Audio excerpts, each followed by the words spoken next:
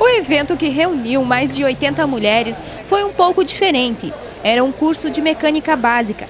Contou com a presença de consultores técnicos em freios e balanceamento. Fernando Paim, consultor técnico, é de Porto Alegre e tem fábrica em Joinville. Trouxe maior conhecimento para as mulheres e tenta passar também conscientização. Essa conscientização é num sentido de, de, de, uh, trazer para o pessoal a importância da manutenção preventiva nos automóveis. O público brasileiro, vamos dizer assim, ele tem uma cultura de manutenção corretiva. E a gente está tentando mudar essa cultura para a prevenção. Por quê? Os carros hoje estão muito mais avançados tecnologicamente, então não pode se ter aquela cultura de só procurar a reparação quando o carro tem problema. Isso tem um custo alto e, além de tudo, pode comprometer a segurança. Portanto, a gente está buscando é, conscientizar nesse sentido também.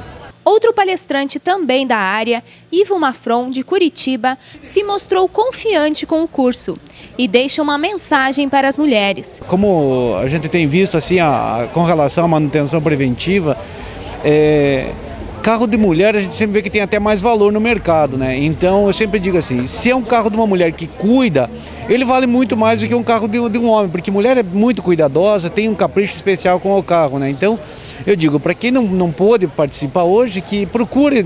A gente tem site, tem site de todas as empresas do segmento automotivo e é uma pesquisa fácil e as dúvidas sempre são tiradas pelo site. As mulheres representam 40% do comércio de carros no país. Participam do design e dos acabamentos. Os carros são feitos pensando nelas. Elas estão crescendo como clientes de oficinas mecânicas e por isso o empresário Ari Reginato pensou em promover este curso inteiramente grátis para este público. A gente já vem fazendo esse evento do, do, curso de básica, mecânica básica para as mulheres há seis anos. E o nosso pit stop está no 11 ano. Então a expectativa é bastante grande, com o resultado que nos, nos apresenta muito bom, com bastantes inscrições e tal.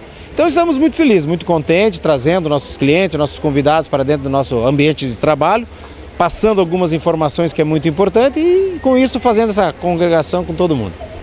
Como que foi as inscrições? Lotaram? Faltaram? Olha, infelizmente tivemos que, que parar com as inscrições já na quinta-feira, devido ao grande número de procura, e a gente já tem programado mais de 50 inscrições para o ano que vem.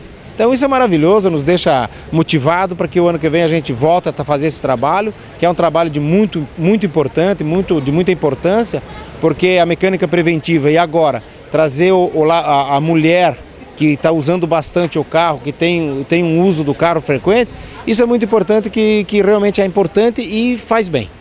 Itamara Calef, de Joaçaba, é motorista há 11 anos e está fazendo o curso pela terceira vez.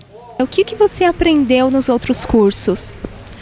Olha, a manutenção do carro, né? Antes de viajar, você vir fazer uma revisão. Tanto que eu venho no curso do outro dia, eu venho trazer o carro para fazer uma, uma geral nele, sempre tem alguma coisinha para dar uma arrumada, para fazer. Então, sempre aprende alguma coisa. Agora ninguém mais te engana nas oficinas. Difícil. Alguma coisinha a gente tem, mas sempre a gente sabe mais agora, né? Procura entender mais, né? O que você usou que, do, do, dos cursos que você aprendeu aqui? A ver água, já cuidar os, a frente do carro quando está vermelho, que tem algum problema no carro, você levar no, no mecânico, uh, ver a, o óleo, né? Então, pneu do carro também, a gente vê sempre a parte do pneu. Então, muita coisa já, já fiz, já pratiquei.